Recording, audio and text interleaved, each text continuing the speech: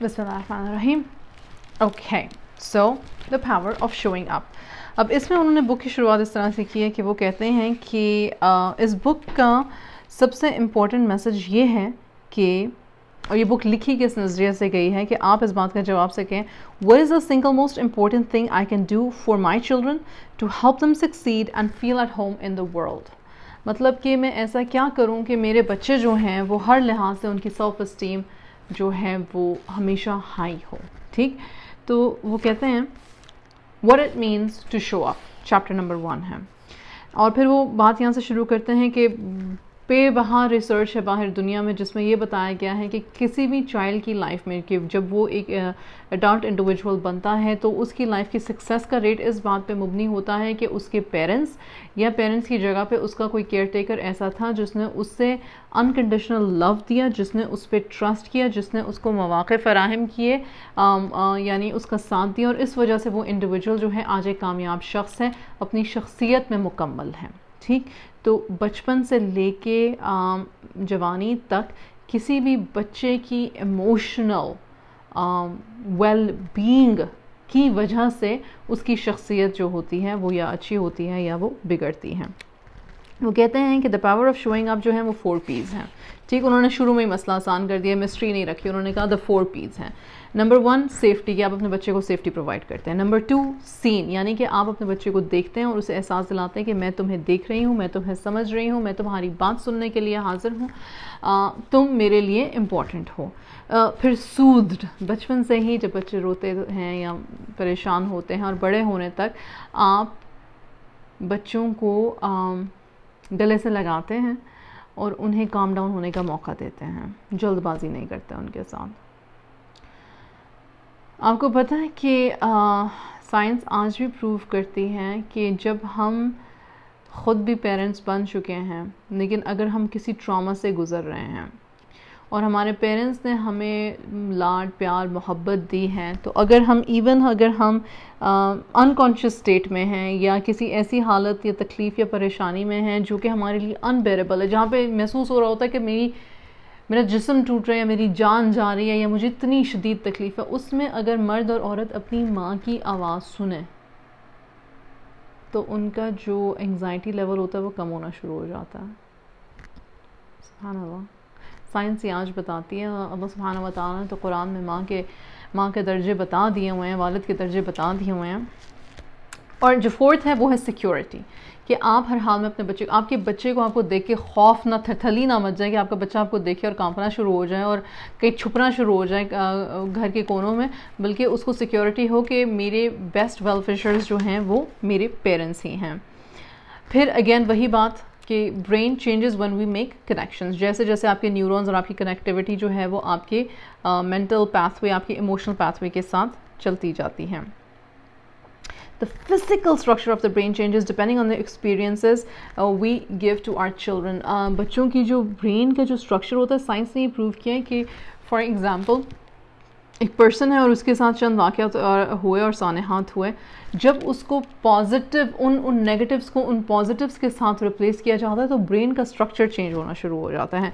वो कहते हैं कि जब पेरेंट्स जो हैं वो कंसिस्टेंटली शो अप करते हैं तो उनके बच्चों के जो माइंड्स होते हैं वो इस बात को समझ लेते हैं कि जो दुनिया है ना, वो रहने की जगह है और काबिल कबूल जगह है और अच्छी जगह है। कोई इतनी कोई बुरी या ख़राब जगह नहीं है। ज़ाहिर सी बात है पेन होगी इवेंट्स होंगे, लेकिन ओवरऑल क्या कहते हैं, हमें अपने आप को संभाल लेना आ जाएगा। बच्चों को अपने आप को संभाल लेना आ जाएगा। फिर उसके बाद वो बात करते हैं कि बच्चों को ये पता होना चाहिए, अपनी कोर में उनको ये पता होना चाहिए कि जब वो हर्ट हो रहे हैं और जब वो अपने वर्स्ट पर हैं, हम उनके साथ खड़े होंगे। जब हमारे बच्चे ज़िंदगी के नशीब फराज में डगमगाएँगे, छोटे होते से लेके जब वो छोटा सा बच्चा पहिया पहिया चलना शुरू करता है और गिर जाता है तो किसकी माँ माँ बाबा रोना शुरू कर देता है। तो उस वक्त भी हम बच्चों के साथ खड़े हैं और जब वो बड़े हो जाएँगे और अपनी ज़िंदगी के बड़े डिसीज़न में भी फ्लॉप हो जाएँगे नाउज़बिल्ला डिवोर्सेस होते हैं, यंग बच्चे बच्चों की, या बिज़नेस में फ्लॉप होते हैं, या उनकी कोई ज़िंदगी की ख्वाहिश होती है कि उन्होंने ये करना और वो करना और वो चीज़ें उस तरह से नहीं टर्न आउट होती तो उस वक्त भी आपको पता, अब हमारे बच्चों को पता होना चाहिए कि मेरे माम मेरे बाप जो हैं, वो मेरे साथ खड़े हैं, वो मुझे अंडरस्टैंड करेंगे, वो मुझे इमोशनल सपोर्ट देंगे। फिर उसके बाद वो कहते हैं कि बेनिफिट्स ऑफ़ सिक्योर अटैचमेंट उसको उन्होंने सिक्योर अटैचमेंट का नाम दिया वो कहते हैं कि बेनिफिट्स ऑफ़ सिक्योर अटैचमेंट जो है ना, वो ये हैं। Number one high self esteem ठीक? लिखना चाहें तो लिख लें। हाई सेल्फ इस्टीम होगी तो उसका मतलब क्या होगा कि वो अपने रिलेशनशिप्स में खुश होंगे अपने पेरेंट्स के साथ। बेटर इमोशनल रेगुलेशन होगी, यानी कि स्ट्रॉन्गर लीडरशिप क्वालिटीज़ होंगी उनमें। ग्रेटर एकेडमिक सक्सेस होगी। अगेन स्ट्रॉगर लीडर क्वालिटीज़ होंगी अपने अपने आप में थोड़े से कॉन्फिडेंट होंगे, थोड़े से नहीं, बल्कि बहुत कॉन्फिडेंट होंगे। Better coping in the times of stress a greater sense of self agency कि ठीक है, मेरे साथ हो गया ये, कोई मसला नहीं है, ज़िंदगी ख़त्म नहीं हो गई है, आगे चलना है, आगे चलना है, आगे चलना है, एकदम से हाथ पैर नहीं छोड़ देंगे, ठीक है? The more positive engagement with preschool peers more trusting non hostile and romantic relationships with their spouses ये सारी चीज़ें सिर्फ़ और सिर्फ़ किस वजह से आ रही हैं? कि पेरेंट्स ने तवज्जो दी थी। Closer friendships in middle childhood, more empathy, greater social competence, overall more effective social interaction. हर लिहाज से इमोशनली हाजिर होना। हर लिहाज से तमीज़ तहजीब दीन की समझ होना और उस पर अमल करना। न कि दोगले हिपोक्रेट होना और एक किसी के सामने एक तरह का और किसी के सामने एक तरह का। हालात और वाक़ हमें बहुत कुछ बना देते हैं। और ज़रूरी नहीं कि जिन लोगों की बहुत अच्छी पेरेंटिंग हुई हो, फिर बाद में जाके वो बहुत अच्छे पेरेंट्स बने। इंसान की नेचर भी होती है और हालात और वाक़ात भी होते हैं, लेकिन मेजोरिटी ऑफ़ द टाइम हम वापस क्यों, हम जब भटक जाते हैं तो हम वापस कैसे आते हैं? क्योंकि वो एक रास्ता हमें मालूम होता है। क्या, क्यों कहते हैं कि घर लौट आओ? मतलब कि वापस आ जाओ। हो गया, काफ़ी हो गया, अब वापस आ जाओ, लौट आओ। तो ये सारी चीज़ें जो हैं, ये हम, ये इस वजह से है कि हमारी इंटरेक्शंस बनी होती हैं अपने पेरेंट्स के साथ। उसके बाद कहते हैं secure attachment is like emotional protective gear मतलब कि आपने हेलमेट और नी पैड्स बना दिए बच्चे को, जब वो स्केट बोर्डिंग के लिए जाने लगा या बाईसाइकिलिंग के लिए जाने लगा अब इसका मतलब ये नहीं कि बच्चे गिरेगा नहीं, बच्चा गिरेगा ज़रूर, लेकिन मुझे चोट का इम्पैक्ट है ज़ोर से ताली बजी है लेकिन मुझे चोट का इम्पैक्ट है वो उतना शदीद नहीं होगा क्योंकि इमोशनली वो बच्चा सिक्योर है और बाद में जब वो अडल्ट भी हो जाता है। और फिर उन्होंने ये बात कही है कि बाज़ बच्चे अपने पेरेंट्स के लिए बहुत डिफ़िकल्ट होते हैं। ये उस बारे में बात करें जहाँ पे बच्चों के जेनेटिक बिहेवियरल इश्यूज़ होते हैं या बिहेवियरल इश्यूज़ होते हैं या उनको किसी किसी, या वो स्पेशल चिल्ड्रन होते हैं, ठीक है? तो उन्होंने कहा है कि बाज़ अवत बच्चे पेरेंट्स के लिए इंतहाई मुश्किल होते हैं। चाहे पेरेंट्स कितने ही अच्छे क्यों ना हो, चाहे पेरेंट्स कितनी ही इमोशनल स्ट्रेंथ क्यों ना दे रहे हो अपने बच्चों को? तो इसमें ये होता है कि अगर बच्चे को इमोशन अगर डिफ़िकल्ट बच्चे को बाय नेचर या अल्लाह सुबहाना ताला की तरफ़ से बच्चा जो है, कोई स्पेशल नीड्स का है तो उसकी इमोशनल नीड्स को फुलफ़िल करना ज़्यादा मुश्किल है है ना? तो ये होगा कि अगर आप नहीं दोगे उसको इमोशनल नीड्स तो उसका पास ऐसे हो जाएगा। ढलान जो है वो इतनी मुश्किल हो जाएगी। ऊपर चढ़ना उसके लिए मुश्किल हो जाएगा ज़िंदगी में। आगे जाना ज़िंदगी मुश्किल। लेकिन अगर आप उसे इमोशनल सपोर्ट दोगे तो उसकी ढलान जो है वो ईजी हो जाएगी। मतलब वो आहिस्ता आहिस्ता टाइम तो लगेगा उसे ज़िंदगी में आगे जाने में, क्योंकि उसकी नीड्स ऐसी हैं। लेकिन वो चला ज़रूर जाएगा। वो कामयाबी तक पहुँच जाए कामयाबी ये स्पेशल नीड्स के माँ बाप क्या चाहते हैं अपने बच्चों के लिए? बच्चे सेहतमंद हो जाएँ। हमारी ज़िंदगी में बच्चों के पास इतनी एबिलिटी है कैपेबिलिटी कि कोई उनको एब्यूज़ ना कर सके, अपने पैर पे खड़े हो सकें, अपनी दो वक्त की रोटी कमा सकें। जिन लोगों के बच्चे नहीं ना होते स्पेशल चिल्ड्रन उन्हें अल्लाह का ना रातों को उठ के तहजद में बहुत ज़्यादा शुक्र करना चाहिए। क्योंकि जिनके होते हैं,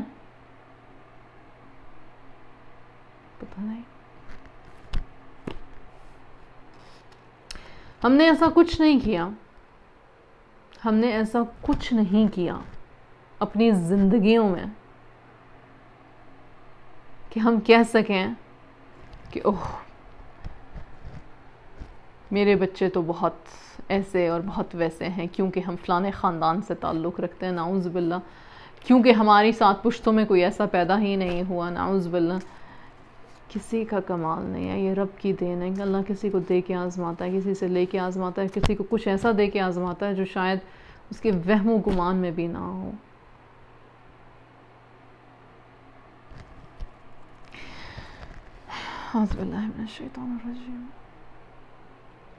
फिर वो कहते हैं कि सिक्योरली अटैच जो बच्चे होते हैं, वो अपने इमोशंस को बेटर रेगुलेट कर सकते हैं, उनके डिसीजंस अच्छे होते हैं। तो फिर उन्होंने एक बेसिकली लाइन बनाई। उन्होंने कहा पेरेंट्स का नैरेटिव है मतलब पेरेंट्स एक बात हैं उनके उनके करने का काम किया। पेरेंट्स का नैरेटिव यानी कि पेरेंट्स का करने का काम किया है। नंबर एक शो अप अपने बच्चे को हर तरह से सपोर्ट करें।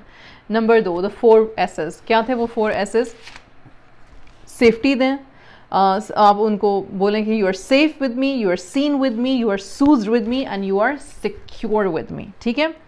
फिर उसके बाद उनको सिक्योर अटैचमेंट दें और उसके साथ बच्चों की ऑप्टिमल डेवलपमेंट की तरफ़ तवज्जो दें। मतलब कि बच्चों की नशोनुमा हर अच्छे तरीके से करने की कोशिश करें। Why do some parents show up and while others don't show up ये सवाल हम कर सकते हैं ना कि ये क्या बात होती है कि कुछ पेरेंट्स जो होते हैं वो शो अप करते हैं और कुछ पेरेंट्स जो होते हैं वो शो अप नहीं करते। तो उसकी क्या वजह है? उसकी वजह यह है कि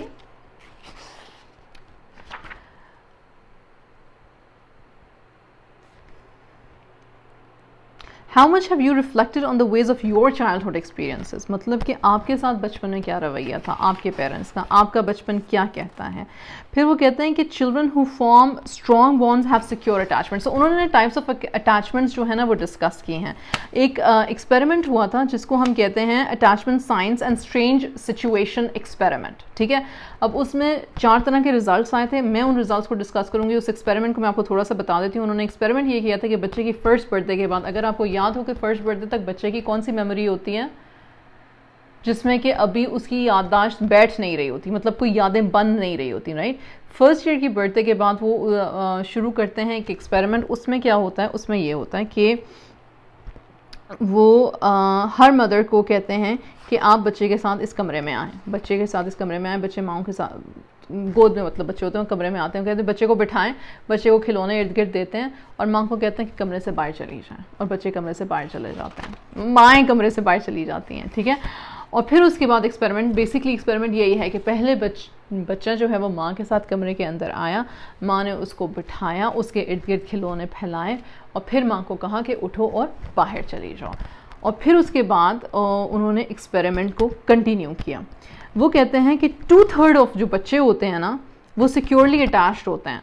मतलब कि ये नहीं होता कि जैसी माँ जाने लगती है तो वो वावेला मचा देते हैं या शोर वगुल करना शुरू कर देते हैं और इस तरह से नहीं करते हैं। वो थोड़ा टाइम उनको लगता है रियलाइज़ होने में कि अच्छा माँ इर्द गिर्द नहीं है, माँ को ढूंढते हैं, फिर थोड़ा सा ऊँ ऊ करते हैं, लेकिन यूजुअली वो खेलते रहते हैं अपने टॉयज़ के साथ, अपने आप को थोड़ी देर के लिए बहलाने की कोशिश करते हैं। एक्सपेरिमेंट ये नहीं था। एक्सपेरिमेंट ये था कि जब वालदा साहिबा अंदर आती हैं वापस रूम में तो फिर बच्चे रिएक्ट कैसे करते हैं? ये था मेन एक्सपेरिमेंट का हिस्सा। तो वो कहते हैं कि उनमें से वन थर्ड जो बच्चे होते हैं वो इनसिक्योर अटैचमेंट शो करते हैं। ठीक है? अब चलो अब हम चलते हैं अटैचमेंट की केसेस uh, की तरफ़। तो पहला जो ग्रुप है ऑफ़ द चिल्ड्रन वो डेमोन्स्ट्रेट करता है अवॉइडेंट अटैचमेंट सिक्योर बच्चों की वो बात नहीं करे। सिक्योर बच्चे सिक्योर बच्चे हैं लेकिन जो वन थर्ड जो बच्चे हैं जो इनसिक्योर हैं उनकी फिर आगे किस्में हैं? उनमें से पहली किस्म जो है वो है अवॉइडेंट अटैचमेंट की कि अवॉइडेंट अटैचमेंट वाले बच्चे वो होते हैं जिनके पेरेंट्स जो होते हैं, वो 60 to 70 percent of the time बच्चे की नीड पूरी करते हैं, लेकिन बाज़ अवत वो एबसेंट पेरेंट होते हैं। मतलब कि वो बच्चे को देख रहे हैं, सुन रहे हैं, लेकिन बच्चे पे ध्यान नहीं दे रहे, अपनी दुनिया में मस्त हैं। तो ऐसे जो, ऐसे बच्चों के जो, बच्चों और पेरेंट्स के दरमियान का जो रिलेशनशिप होता है, वो अवॉइडेंट अटैचमेंट का होता है, ठीक है? They adapt to behavioural avoidance बड़े मज़े की बात है कि बिहेवियरल अवॉइडेंस है क्या? वो बेसिकली पता है वो बच्चे क्या करते हैं? बच्चे ये कहते हैं कि जब वालदा साहबा कमरे के अंदर आती हैं ना तो माँ को देखते हैं और फिर अपने खिलौने में के लग जाते हैं। मतलब ये नहीं कहते कि वो माँ, तुम आ गई हो, मैं बड़ी खुश हूँ, या मैं बड़ा खुश हूँ, और आओ, मुझे गले से लगा लो, मुझे नहीं, जो अटैच्ड जो अटैच्ड पेरेंटिंग वाले जो बच्चे होते हैं ना, वो माँ को बुलाते हैं पास, वो गले लगाते हैं, चूमते, चाटते हैं, फिर उसके बाद वो कहते हैं अच्छा ठीक है, अब हम खेल रहे हैं। लेकिन जो अवॉइडेंट होते हैं, जो वन थर्ड वाली जो कैटेगरी है, उसमें जो अवॉइडेंट टाइप है, वो माँ को देख लेती है कि अच्छा ठीक है, अभी आ गई है कमरे में अंदर, ठीक है ओके फाइन ठीक है, आ गई है तो आ गई खेल रहे हैं। सुबहान अल्लाह ये बेसिकली फिर आगे चल के अवॉइडेंट बिहेवियर एज अडल्ट भी बन जाता है कि अपने इमोशंस अवॉइड करते हैं। ज़ाहरी तौर पे बताते नहीं बिकॉज़ अंदर से इनसिक्योरिटी बैठ चुकी होती है ना, अंदर से ट्रस्ट मिसट्रस्ट होता है कि मुझे कभी भी छोड़ के जा सकता है या मुझे कभी भी छोड़ के जा सकती है। तो वो, हालाँकि ये नहीं होता कि खुदा ना खास्ता इस एक्सट्रीम पे नहीं होता कि हर कोई मुझे छोड़ के चला जाएगा, लेकिन कहीं दिमाग में, कहीं बचपन में ये अवॉइडेंट बिहेवियर डिटैचमेंट जो होती है ना, वो बैठ चुकी होती है। सेकेंड ग्रुप जो है वो एम्बिवलेंट अटैचमेंट है, कि नो कंसिस्टेंसी होती है। Both with the parent and ignoring the child मतलब कि पहले वाली जो थी ना, वो ज़्यादा ज़्यादा बच्चे को देख रहे हैं, ध्यान दे रहे हैं कभी कभी इग्नोर करते हैं। लेकिन जो, ये जो तीसरी, जो सेकंड ग्रुप है एंबुलेंस जो अटैचमेंट है, उसमें कंसिस्टेंसी ही नहीं है। उसमें दो दिन बहुत ध्यान देंगे, चार दिन बिल्कुल बच्चे पे ध्यान नहीं देंगे, तीन दिन ध्यान देंगे, पाँच दिन नहीं ध्यान देंगे। तो उसमें जो होता है ना, बच्चा जो होता है दे बिकम वेरी अनसेटल्ड मतलब बच्चे की एंग्जाइटी नहीं ख़त्म होती, बच्चे को समझ नहीं आती कि उसने बिहेव किस तरह से करना है। माँ उसे उठा भी लेगी तो उसे नहीं समझ आएगा कि करना क्या है। वो उनका रोना ही नहीं ख़त्म होता।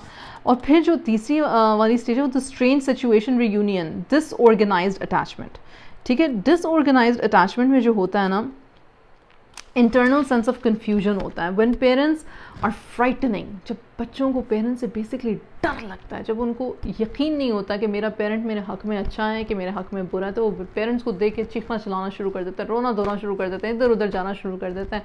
ना पेरेंट के पास आते हैं ना टॉयज़ के पास आते हैं मतलब घबराए हुए। ठीक है? और आ, फिर उन्होंने एक्सपेरिमेंट यहाँ पे ख़त्म नहीं किया। उन्होंने उन्हीं बच्चों की पूरी लाइफ को फॉलो थ्रू किया। और जब वो लोग अडल्ट बन गए, यानी कि तीस साल बाद, जैसे कि मूवीज़ में दिखाते हैं, तीस साल बाद वो बच्चा जो था, वो क्या बन गया? तो जब वो अडल्ट हो चुके हैं, वो अपनी अपनी लाइफ में सेटल हो चुके हैं, उनमें से बाज़ ख़ुद पेरेंट्स बन चुके हैं तो उन्होंने देखा कि जो रवैया उनके पेरेंट्स का उनके साथ था, बहुत सो ने वही रवैया अपने बच्चों के साथ रखा हुआ है। ये उन्होंने कोई जानबूझ के नहीं किया हमने क्या बात की थी? न्यूरॉन्स अटैचमेंट्स मेमोरीज ठीक? वही बात हुई है। तो सिक्योर एंड फ्री अटैचमेंट जो होती हैं, वो सिक्योर एंड फ्री अटैचमेंट ये होती है कि मुझे पता है कि मेरे वालदेन मेरे पास है, मेरे साथ हैं, मेरे इर्द गिर्द हैं, वो अगर बज़ाहिर मेरे पास सामने नहीं है, लेकिन फिर भी मुझे पता है कि उन्होंने मुझे सेफ्टी प्रोवाइड की, वो मुझसे बहुत बेपना प्यार करता है। ठीक है? अगर वो कहीं गए हैं they will return back because माँ ने अपनी कम्युनिकेशन स्किल बचपन से सिखाया हुआ है, लेकिन बाकी सारे अवॉइडेंट एंड डिसमिसिंग अटैचमेंट जो है, फिर वो बहुत मुश्किल हो जाती है। अच्छा मैं ये सारी तफसील नहीं पढ़ूँगी, क्योंकि एट दिस पॉइंट ये ज़रूरी नहीं है। लेकिन four styles of the process ये आपको बताना ज़रूरी है, ठीक? Four style of the process है कि उन्होंने एक एग्ज़ाम्पल दी है कि एक पेरेंट है। उन्होंने एग्ज़ाम्पल दी है सिक्योर अटैचमेंट की और इनसिक्योर में अवॉइडेंट एम्बिवलेंट और डिसऑर्गेनाइज की। तो एक सिक्योर अटैचमेंट है और बाकी तीन क्या हैं? अवॉइडेंट नंबर दो क्या है? एम्बिवलेंट और नंबर तीन क्या है? डिसऑर्गेनाइज अब सिक्योर अटैचमेंट में क्या होता? है शॉर्टकट में अगर बात करें तो। सिक्योर अटैचमेंट में जो पैटर्न होता है ना, वो सेंसिटिव होता है रिस्पॉन्सिव होता है बच्चे का।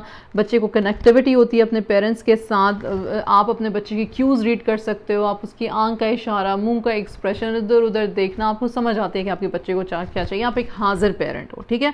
और उसमें जो बच्चे का अजम्पन होता है आपके बारे में क्या होता है? ये सिक्योर पेरेंटिंग की बात हो रही है सिक्योर अटैचमेंट की बात हो रही है। उसमें बच्चे को पता था मेरा पेरेंट परफेक्ट नहीं है, कोई बात नहीं, लेकिन मैं अपने पेरेंट के साथ सेफ़ हूँ। मेरी एक नीड है मेरी मे, और मेरी नीड को मेरी पेरेंट जो है वो रिस्पॉन्ड करेगी और क्विकली रिस्पॉन्ड करेगी और सेंसिटिविटी के साथ रिस्पॉन्ड करेगी। मतलब मुझे झिड़केगी नहीं या तबकेगी नहीं। Then I can trust other people too मतलब कि वो बच्चा बड़ा होकर ये सोचता है कि मैं दूसरे लोगों पे ट्रस्ट कर सकता हूँ। उनको दूसरे लोगों पे ट्रस्ट करने में इतना मुश्किल नहीं होता। अपने रिलेशनशिप्स को आगे लेके चलने में ना उनको इतनी प्रॉब्लम नहीं होती। इतनी थका नहीं देते वो अपनी सोच कोई गोल गोल घुमा के। ठीक?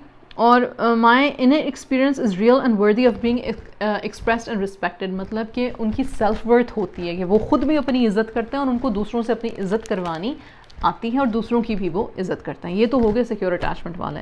अब जी हम आते हैं इन सिक्योर अटैचमेंट वालों की तीन किस्मों की तरफ़। पहली वाली किस्म जो है वो अवॉइडेंट वो क्या करती है कि इन डिफरेंस शो करते अच्छा हो नहीं हो, मुझे क्या फ़र्क नहीं पड़ता, मुझे कोई फ़र्क नहीं पड़ता।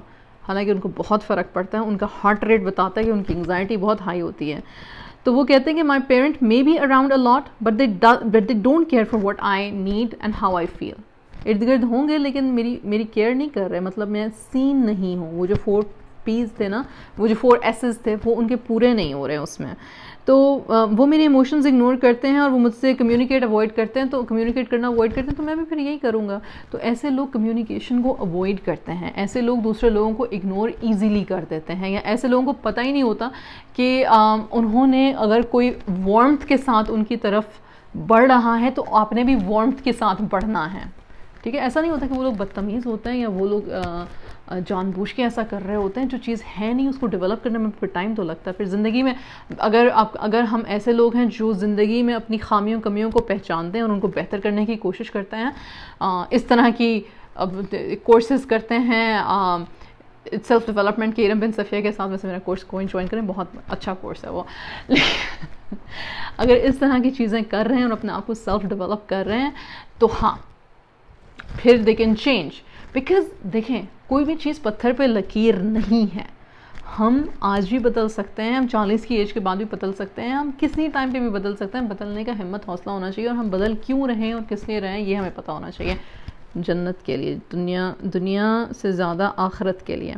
अच्छा फिर इनसिक्योर एम्पलिवेलेंट तो जो सेकंड किस्म है इनसिक्योरिटी की, वो होती है, वो प्री ऑक्यूपाइड अटैचमेंट है। Sometimes attuned sensitive responsive to a child needs and sometimes not so intrusive so उस तरह का जो बच्चा होता है, उसमें ये डेवलप होता है कि पता नहीं मेरे पेरेंट ने मुझे कब अटेंशन देनी और पता नहीं मेरे पेरेंट ने मुझे कब अटेंशन नहीं देनी। पता नहीं मेरे पेरेंट मेरे लिए प्रेजेंट है या पता नहीं मेरे लिए पर। तो वो जो पर्सनालिटी होती है ना, वो बड़ी अनश्योर अनसर्टन किस्म की पर्सनालिटी होती है। पता नहीं पता नहीं पता नहीं पता नहीं। में गुजर जाता है टाइम उनका। प्रिडिक्टेबिलिटी नहीं होती। खुद उनमें भी प्रिडिक्टेबिलिटी नहीं होती। मतलब कि वो खुद भी कोई काम प्रिडिक्टेबिलिटी के साथ सर अंजाम नहीं दे पाते हैं। और जो आखिरी वाली है, जो सबसे बुरी फॉर्म ऑफ़ अटैचमेंट डिटैचमेंट है, वो अटैचमेंट तो है ही नहीं है। इनसिक्योर या डिसऑर्गेनाइज ये कहाँ होती हैं? जब बच्चे को अपने पेरेंट्स से किसी किस्म की सेफ्टी नहीं मिलती किसी किस्म की बच्चे को अपने पेरेंट्स से ना ना नर्चरिंग मिल रही है ना लव मिल रहा है ना सेफ्टी मिल रही है उसको अपने पेरेंट्स से सिर्फ़ और सिर्फ़ डर और खौफ है। ठीक है? उसमें क्या होता है कि my parent is terrifying and disorienting and I am not safe and there is no one to keep me safe कितना कितना तकलीफ़ दे है ये सोच। किसी छोटे से बेबी को भी ये सोच हो जाती है कि भाई आ, मतलब मेरे लिए कोई नहीं है। और मुझे नहीं पता कि मुझे क्या करना है। और I am helpless and people are scary and people are unreliable ऐसे ऐसे लोगों को किसी की ज़ात किसी ज़ात पे यकीन नहीं होता। वो अपना भी जीना अजीरन कर लेते हैं और दूसरों का भी अजीरन कर लेते हैं। तो वो आखिर तो फिर उसके बाद कहते हैं ये दोनों आम, जो ऑथर्स हैं वो कहते हैं कि वी हैव अ मैसेज कि मेरी बात सुने अगर आपके साथ आपका बचपन ऐसा गुजरा तो एक मैसेज है आपके लिए कि देर इज़ होप उम्मीद पर दुनिया कायम है। और वो कहते हैं कि secure attachment can be learned and earned learn यानी कि हम अपना तरीका सीख सकते हैं एंड अर्न यानी कि हम अपने बच्चों से उनकी मोहब्बत, उनका दिल जीत सकते हैं। फिर वो कहते हैं कि अगर हम अपने अनरिजॉल्व अटैचमेंट पैटर्न्स को स्टोरी बना के ना अपने आप को बताएँ। मतलब कि अपने पास से छुपते फिरते रहें और उसको अंडर द कारपेट हम पुश करते रहें और उसको हेड ऑन फेस ना करें। तो होता ये है कि हमें ना अंडरस्टैंड करने में बड़ी मुश्किल हो जाती है कि हम जैसे हैं, हम ऐसे हैं क्यों? या हमारे जो रिश्ते हैं, वो अच्छे से निभ क्यों नहीं रहे हैं? ठीक है? हाउएवर अगर हम करेज इस्तेमाल करें और अपने पास्ट को एग्ज़ामिन करें और अपने अंदर ये एबिलिटी डेवलप करें कि हम जो हमारे साथ किसी और ने बुरा किया है या हमारे ऊपर जो नक्श हो चुकी हैं कुछ बातें, हम उनको बेहतर कैसे बना सकते हैं? अगर हम इस तरफ़ ध्यान दें बल्कि, और हम इसको बेहतर करने की कोशिश करें, अपने पास्ट वुंड्स को हील करने की कोशिश करें तो हम अटैचमेंट्स क्रिएट कर सकते हैं। When we gather and examine our past and develop the ability to reflect and tell our own stories in a clear, coherent way where we are neither running from the past nor becoming preoccupied with it, we can begin to heal. Exactly यही बात की है मैंने अभी we don't have to let our past experiences dominate मतलब कि हमारा past हमें डिफाइन नहीं करता हमेशा के लिए सवाल ये पैदा होता है कि एक छः साल के बच्चे से लेके एक um, ट्वेंटीज़ तक के यंग आदमी या औरत को। क्या अपना पास्ट याद रहता है? बिल्कुल याद रहता है। Um, क्या उसके पेरेंट्स अगर पहले डिटैच पेरेंट्स और बाद में अटैच पेरेंट्स रह गए तो उस बच्चे की पर्सनालिटी क्या है? अटैच पेरेंट्स वाली होगी क्योंकि ज़ाहिर सी बात है पेरेंट्स ने मेहनत की और चेंज हो गया बच्चा। अगर पेरेंट्स डिटैच थे और हमेशा ही डिटैच रहे और उसकी पर्सनालिटी भी डिटैच होगी तो क्या जब वो पेरेंट बनी या बना तो क्या वो अटैच पेरेंट बन सकता है? हाँ बन सकता है अगर वो कोशिश करे तो। ठीक? फिर उसके बाद आ, उन्होंने कुछ लोगों की एग्ज़ाम्पल दी हैं जो इंतहाई पोस्ट ट्रोमेटिक स्ट्रेस से गुज़रे जिनके पास काफ़ी सारे लाइफ चैलेंजेस आए और फिर जिन्होंने अपनी आ, स्टोरी बदली। जिन्होंने कहा कि देखो मैं वो नहीं हूँ जो मेरे साथ हुआ मैं एक बेहतर इंसान बन सकती हूँ मैं कोशिश कर सकती हूँ। तो वो कहते हैं कि आपको अपना पर्सनल इनर वर्क करने की ज़रूरत है आपको ख़ुद से बदलने की ज़रूरत है आपको एक साइकिल इनसिक्योर अटैचमेंट का ब्रेक करने की ज़रूरत है यानी कि करने का काम ये है कि ख़ुद करो जो करना है किसी और ने करके देना नहीं है regardless of your upbringing and whatever happened to you in the past. You can be the loving, sensitive parent you want to be, and the one who shows up and raises the children who are happy, successful, and themselves. तो ये थी हल्की फुल्की बातें इस किताब की। और ये हमने सीरीज़ का पहला पार्ट ख़त्म किया। इन मेरी कोशिश होगी कि हम अगले सात दिनों में ये पूरा सीरीज़ मुकम्मल करें और इसको रैप अप करें। टेक केयर अस्सलाम